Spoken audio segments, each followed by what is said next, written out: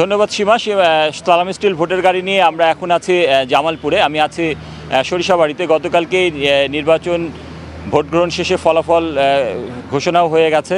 তবে আওয়ামী লীগের দলের দলীয় দলের পক্ষ থেকে বলা হয়েছিল যে নির্বাচন পরবর্তী যেন কোনো আনন্দ মিছিল আতসবাজি বা সহিংসতার ঘটনা না ঘটে এই জন্য নেতাকর্মীদেরকে সতর্ক থাকতে বলা হয়েছিল এবং সেই জন্যে আমরা দেখিনি যে নির্বাচনের পরে তেমন আনন্দ উল্লাসের খবর। তবে আজকে সকাল থেকেই দলের নেতাকর্মী, সমর্থক এবং সাধারণ ভোটাররা তাদের যে নির্বাচিত প্রতিনিধি, তাদের সাথে দেখা করছেন এবং ফুলের শুভেচ্ছা বিনিময় করছেন। একই সাথে তাদের যে চাওয়া, সেই চাওয়াগুলো জানাচ্ছেন।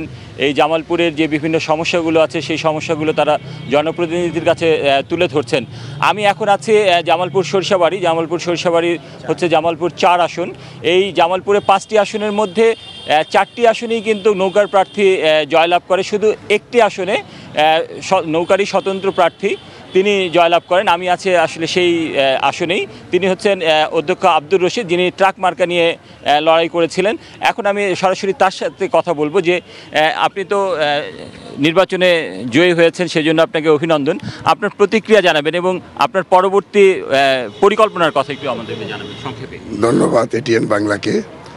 আসলে সরিষাবাড়ির মানুষ দীর্ঘদিন যাবৎ অপেক্ষা করতেছিল আমাকে নির্বাচিত করার জন্য। সে সুযোগ হয় নাই। এবার আমি দ্বাদশ জাতীয় সংসদ নির্বাচনে ট্রাক মার্কায় প্রতিদ্বন্দ্বিতা করি এবং সরিষাবাড়ি আপামায় জনগণ আমাকে নির্বাচিত করে আমি আমার পক্ষ থেকে তাদেরকে অভিনন্দন জানাই।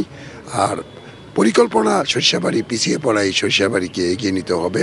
আমাদের প্রধানমন্ত্রীর যে স্মার্ট বাংলাদেশ গড়ার যে অঙ্গীকার আসলে মেগা প্রকল্প থেকে যে ডেল্টা প্রকল্পে রূপান্তরিত হতে যাচ্ছে, আমি মনে করি পিছিয়ে পড়া এই সরিষাবাড়ি শিল্প, কল, কারখানা, যাতায়াত ব্যবস্থা, শিক্ষা ব্যবস্থা, স্বাস্থ্য ব্যবস্থা, বেকারত্ব দূর করা মাদক মুক্ত সরিষাবাড়ি গড়ে তোলা।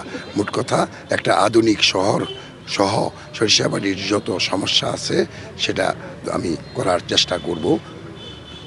হ্যাঁ ধন্যবাদ আপনাকে। পুনম শুনছিলেন এখানকার নির্বাচিত সংসদ সদস্য তার ভবিষ্যৎ পরিকল্পনার কথা জানাচ্ছিলেন। এই ছিল আমার কাছে এখানকার সর্বশেষ খবর। পুনম।